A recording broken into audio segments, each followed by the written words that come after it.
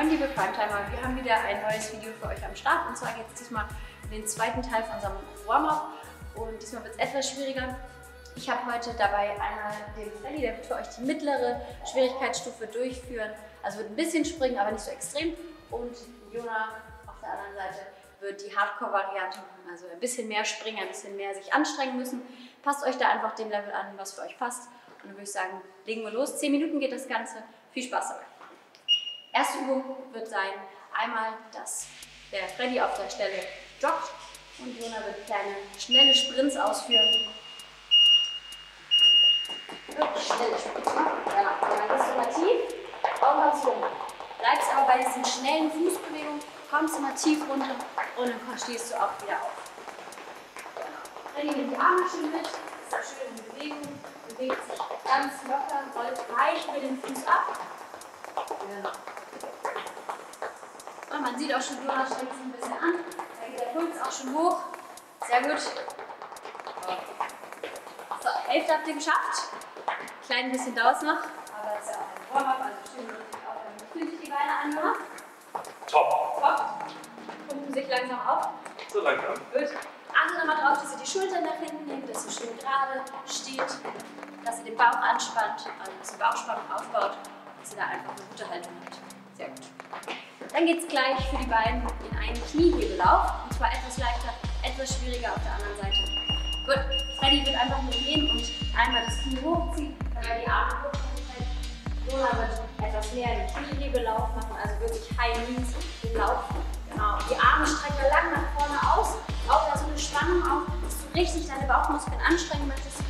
Also wir wollen jetzt überhaupt nicht nur einmal deine Muskeln aufwärmen, sondern auch schon mal die Aktivierung der Muskulatur, Rumpfmuskulatur voranbringen. Schön die Arme fest, unter Spannung. Hier genau, ein bisschen höher, bis, bis zu den Händen. Ja, guck mal, gut, sehr schön. Auch hier zu Hause schön die Knie hochziehen, lauft dann wirklich richtig mit Spannung, zieht das durch für die Minute. Genau.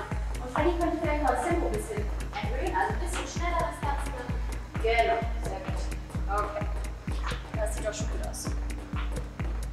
So, also nach 10 Sekunden knapp. Wunderbar. Und nochmal die Brust nach vorne, die Schulterblätter zusammen. Und dann gehen wir gleich von dieser Bewegung nach vorne einmal ins Anfersen. Freddy macht so einen Step Touch und ein Anfersen. Und Luna geht in dieses klassische, was man vielleicht so aus dem Fußballverein kennt, dieses Anfersen.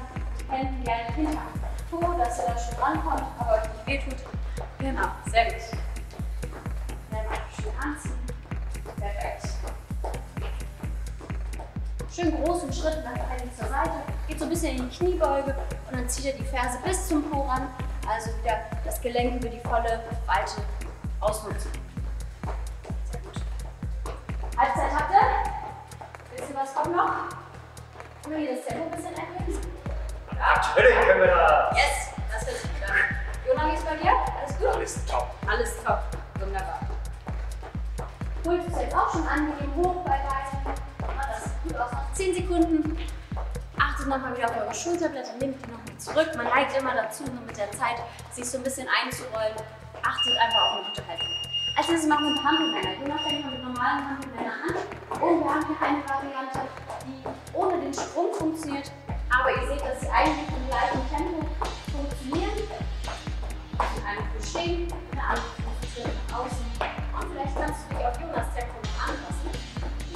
genau, jetzt arbeiten wir hier. Gut, wunderbar. Die Arme gehen schön runter bis zu den Oberschenkeln und dann streckt ihr die Arme wieder nach oben. Wunderbar. Wenn ihr Hampelmänner macht, achtet so ein bisschen drauf, wenn ihr richtig macht, dass ihr die Knie leicht nach außen dreht, wenn ihr landet und auch mit der Ferse landet. Dass ihr keine X-Beine macht oder irgendwie da schief macht. 20 Sekunden sind es noch. Wie fühlt ihr euch? Entspannt. Läuft auch alles? Bist auch mal angezogen. Stimmt. Sehr, okay. Sehr schön. Als nächstes machen wir gleich die Scherenbewegung. Und da geht ihr einmal so einen kleinen Frontlauf und kreuzt die Arme und schmeißt dann abwechselnd die Füße nach vorne. Genau. Und die Arme auf Schulterhöhe, nicht genug. Genau. Das kann man jetzt mit dem kleinen Sprung machen, das ist nur so ein ganz kleiner. Man könnte es aber auch als Lauf nehmen, dass man trotzdem den Takt erhalten. Also auch was für die Koordination, Hand-Fuß-Koordination haben wir auch gleich mit abgedeckt. Wunderbar. Auch hier seid ihr so durch die Übung unter einer kleinen Rücklage. Da hat die Bauchmuskulatur auch richtig viel zu tun. Das heißt, probiert die richtig anzuspannen und da richtig was zu spüren, dass ihr schon mal wirklich an die Tour aktivieren.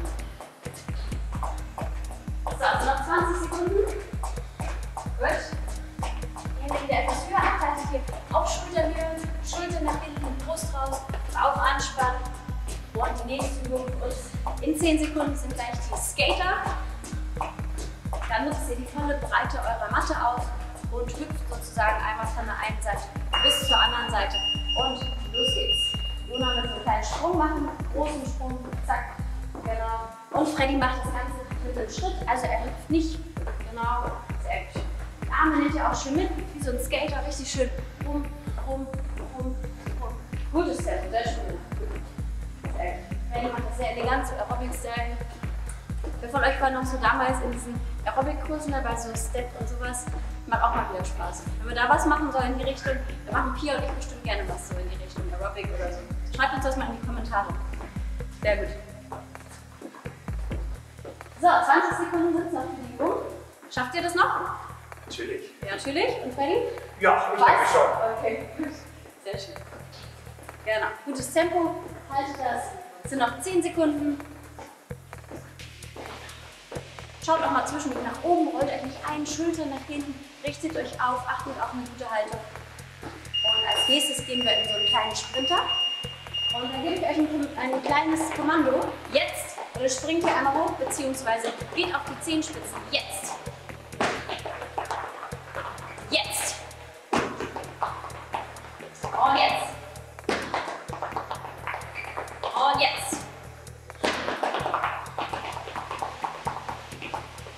Jetzt.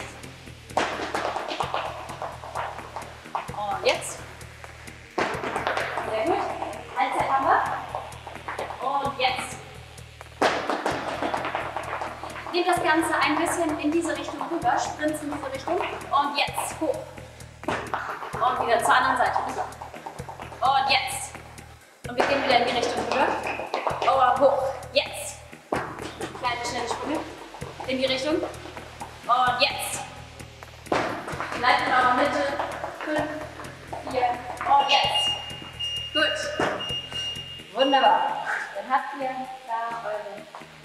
Anschwungübung jetzt schon geschafft. Wir gehen eine Übung für den Rücken. Überkreuzt euer rechtes Bein nach links rüber.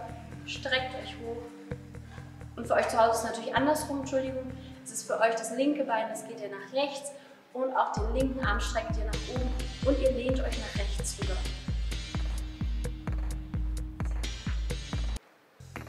Tief durchatmen. Tief durch die Nase ein und durch den Mund aus. Einmal über die Mitte wechseln. Also jetzt geht euer rechtes Bein hinter das linke Bein. Und ihr lehnt euch einmal nach links rüber. Streckt den rechten Arm nach oben. Wunderbar. Achtet hier auch nochmal darauf, dass ihr euch nicht einrollt, sondern dass trotzdem, dass ihr zur Seite gedreht seid, euch aufrichtet. Perfekt. Wir gehen in eine Kniebeuge und ihr verkreuzt Hände wie beim Yoga vorne zusammen in der Berghaltung. Und dann dreht ihr euch zur Seite und hebt einen Arm, rotiert euch auf, kommt wieder zurück zur Mitte, Berghaltung und kommt wieder in die Öffnung zurück, Rotation, zur anderen Seite Berghaltung. Wechselt immer zwischen diesen beiden Positionen hin und her. Die andere Hand bleibt bei eurem Brustbein ganz eng dran, haltet da sogar den Körperkontakt. Genau. Und schön hochdehnen. Wunderbar. Schaut zur Decke hoch, schaut eure Hand hinterher, streckt euch mit. Und konzentriert euch auf die Atmung. Atme ein, wenn du dich ausrotierst und aus, wenn du zur Mitte kommst. Ein, wenn du dich aufrotierst und aus zur Mitte.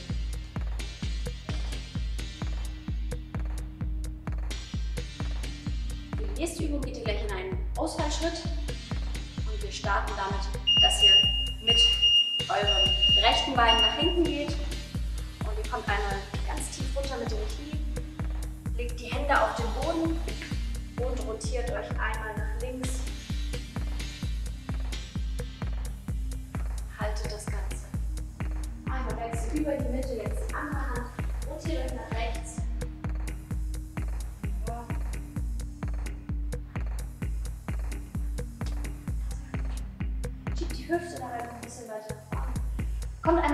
Den Stand und wechselt einmal die Beine, dass wir auch mal die andere Hüfte gehen. Anderes Bein nach hinten, das linke Bein nach hinten. Und dann dreht ihr euch einmal auf. Und zwar nach links hoch. Oder euer links. Das ist immer total verwirrend. Das fand ich früher schon immer in den Kursen verwirrend. Wenn man sagt links, dann muss man das alles seitenverkehrt sagen. Ich hoffe, dass ihr einfach das so mitmachen könnt.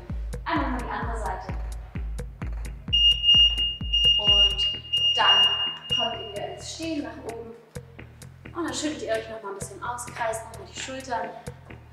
Sehr gut. Ich ihr beide seid gut aufgewärmt. Angeschwitzt? Wunderbar. Dann habt ihr es auch geschafft und jetzt kann es bei euch weitergehen mit einem der nächsten Videos. Das heißt, ihr könnt jetzt zum Beispiel ähm, Intervalltraining machen oder ein Beine-Po-Workout oder was in die Richtung. Sucht euch da was Schönes aus. Viel Spaß dabei. Bis zum nächsten Mal. Ciao.